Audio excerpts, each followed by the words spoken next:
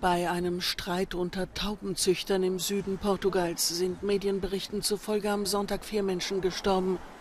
Nach ersten Erkenntnissen habe einer der Männer, ein etwa 40-Jähriger, drei andere mit einer Schrotflinte erschossen und sich dann das Leben genommen. Was genau den Streit ausgelöst hatte, war zunächst unbekannt. Es habe aber mit der Taubenzucht zu tun gehabt, berichten portugiesische Medien.